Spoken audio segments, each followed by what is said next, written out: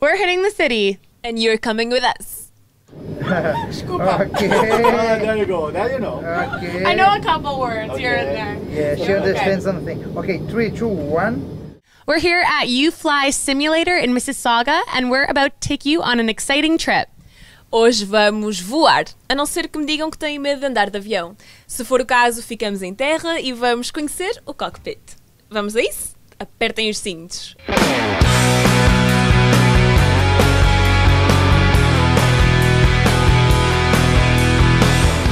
Cláudio Teixeira, CEO da YouFly, tem uma evidente paixão por aviões.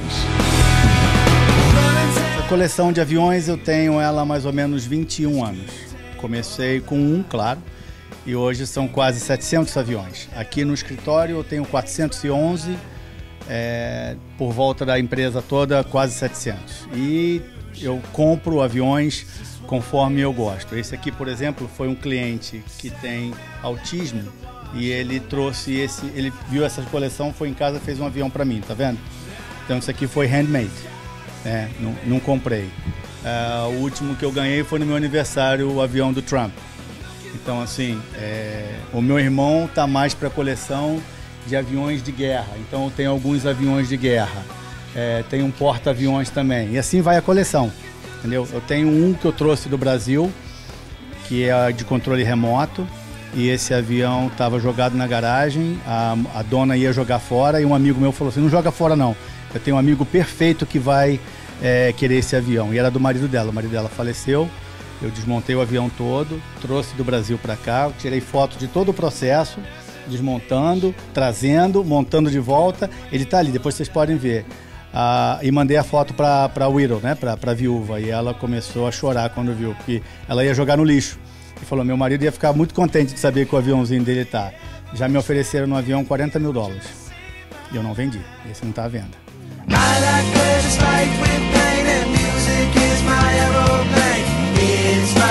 Estamos a ficar nervosas. Até o barulho é o mesmo. O que é isto? É igual.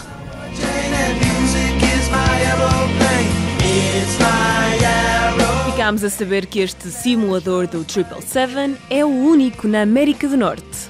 This 777 is the only 777 available in North America for the general public. Okay, beside us, only airlines.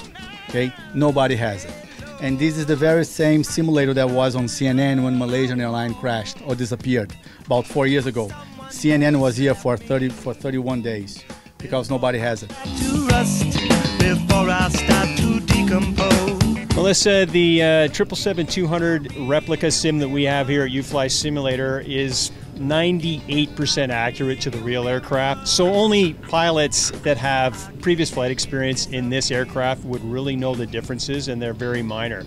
Uh, when we first come into the simulator, you basically get um, a briefing on what all the instrumentation and controls do, and then you actually take off yourself under the guidance of the instructor that you're with. Train and music is my aeroplane. Now, I'm going to be flying on the flight director, and Melissa, I'm going to let you take over in a second here. So, right now, if you look on your display, see the little square that's on the magenta cross? I'm mm-hmm. holding that square, which is the nose of the airplane, right on the cross. Now, can I release that to you now? You want to try this out? Sure, Okay, when you I- want to take over when I mess up. Absolutely, I'm right here for you. And just before we get too far away, let me just pitch the nose down for a second.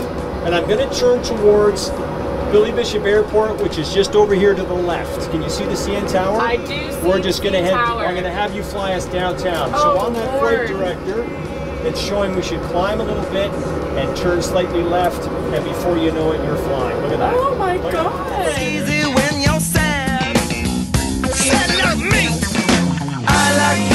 Mas afinal, quanto tempo demora até entendermos realmente todos estes mecanismos? How long does it usually take for you to explain the whole panel of buttons to someone that's completely brand new, such as myself? Okay, so you coming in as a new um, person learning how to fly, we will cover all the essentials. It takes, I use a checklist to do it, a typical checklist we use in the airplane. Uh, it takes about 15 minutes to go through that initial information. And then after that, um, you have a good understanding of what it is. And then basically, what people have the most trouble with is controlling the aircraft on the flight director, as you just experienced there for that first five minutes. It's um, the first 10 minutes can be pretty exciting. It's like getting inverted or almost inverted is sometimes a reality in the sim, but I'm always there to catch it when someone's gone too far. You're just gonna fly, okay? Me? Are you ready? Claramente não estava preparada, deu para perceber. A Melissa fez melhor figura até agora. Runway 15 left, Toronto Pearson Airport, and we are clear to land. Okay. Clear to land. Any questions? Not for now. Okay. Apparently. I'm just gonna go grab a coffee. No! Oh, oh, sorry. Not right now? Okay. Sorry. Please don't. Preparados para aterrar? Look at the runway. I made you look. I made you look. Two reds, two white. We're touching down. Forward pressure, reversers, keeping straight with rudder, and braking. There we go. Good, you're doing good. We're stopping. Ah. Stowing the reversers. Come back to idle on the power. On runway one. Spoilers are back down again, and we've survived yet another one. Fantastic job. Right on. So nice to fly with you today. Okay, That was amazing. now, question.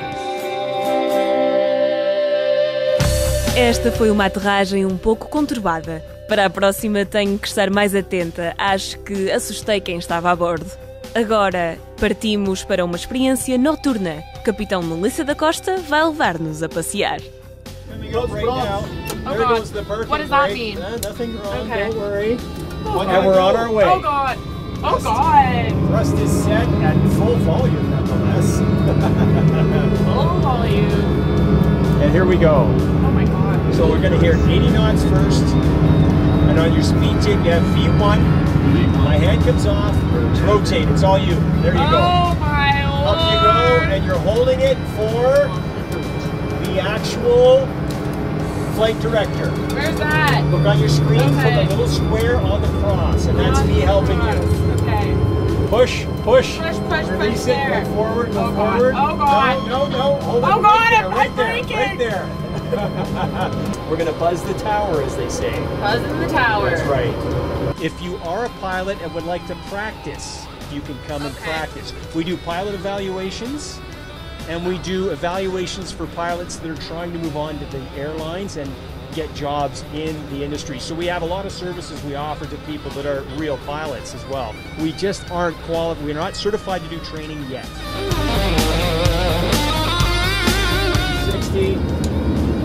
On the ground. I can hear the claps already from people in the back. I can hear them. Woohoo! Oh my god. Like right now, it's a it's really intimidating. Yeah. If you can do even two hours continuously, Yeah. by the end of the two hours, you'd be like, what was I so worried about? I know what I'm doing now. That magenta I square it. is gonna haunt my dreams tonight. It might. It just might. Vamos agora numa viagem mais turbulenta. Vamos agora numa viagem mais turbulenta com chuva e relâmpagos, acho eu. A turbulência sempre é, é um desconforto, não é? É, É um- Mas é um desconforto para os passageiros apenas, porque eu sinto-me super desconfortável, ou para os pilotos também. Também há desconforto e preocupação da vossa parte. os pilotos estão sempre atentos. Uma turbulência é, vai botar os dois pilotos, por exemplo, se estivessem tomando um café, param de tomar o café. A atenção deles tem que ser total no voo, entendeu? Se o voo está macio, suave, sem turbulência nenhuma, o piloto está tomando o cafezinho dele tranquilo. Se tem uma turbulência, alguma coisa exige a atenção deles maior, para tudo, atenção no voo. Quisemos também entender se nestes simuladores de voo existe a possibilidade de praticar casos de emergência.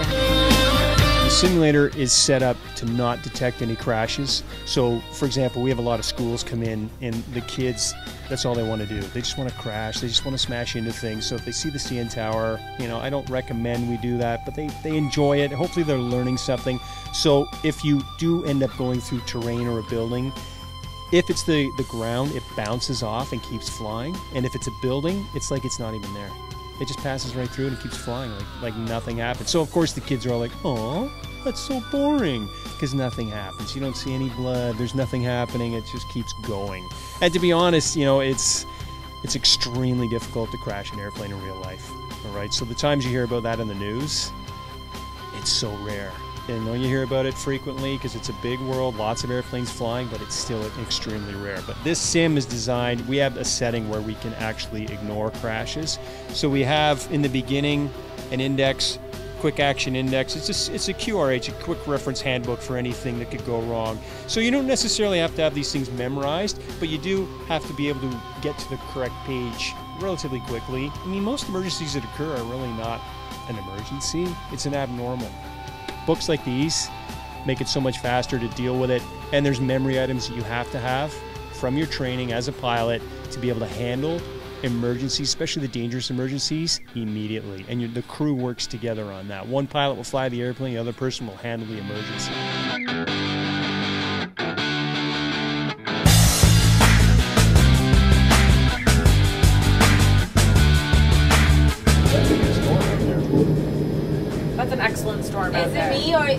You're? it's you.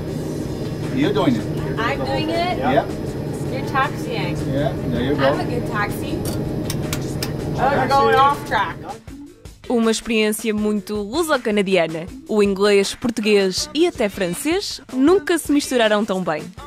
Pronto. Portuguese at the same time, isn't that just Yeah, it's all mixed up, my friend. English, Portuguese. Eu tenho uma. Oh, c'est très bien, monsieur. Oui.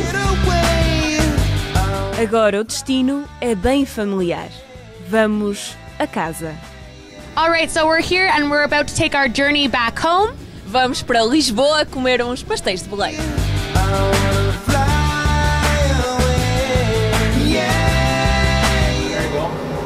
Look, that's and just hold it right there. I can't concentrate on Portugal right now. I'm flying plane. And look at that, it's flying without autopilot. See?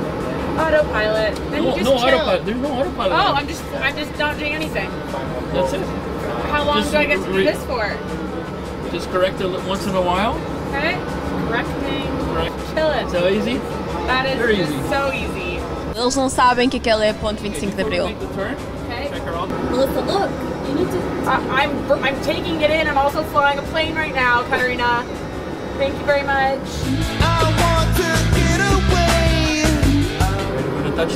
Nope. Am I ever ready for the touchdown? Absolutely not. Fomos a um dos aeroportos com aterragem mais difícil. Estamos no, no, no terminal. Vamos botar já na, na pista para decolar, tá bom? Combinado. É curto. É curtinho, não, não demora muito. Não demora nem cinco minutos. Vamos de já perdilhou. A verdade é que o destino é Hong Kong. Pelo que ficamos a saber, esta era uma das cidades mais temidas no que diz respeito à aterragem. Muitos aviões acabavam por aterrar, mas na água. Por causa disso mesmo, e também devido à construção de edifícios extremamente altos ao seu redor, fizeram um aeroporto novo numa ilha com mais condições de segurança. No entanto, este aeroporto mais perigoso é ainda usado em simuladores como este para treino. pra água? Vai pra água. Nossa senhora. Mas nós vamos parar a tempo. Muitos, é, muitos foram pra água. Muitos foram pra água? É. é. Meu Deus. É. Esse aeroporto é muito... Mas, mas Olha os prédios. Não, né? não morreram. Os que, Ai, os que sobreviveram, não. olha pra frente. Catarina, olha, olha pra frente. Olha, olhando. Olha o comandante. Approaching. Orlando. Okay five, Captain. Good job. Congratulations. Muito obrigada, senhores passageiros, por terem escolhido esta companhia aérea para a vossa viagem. Esperamos contar com a vossa preferência num próximo voo da Camões.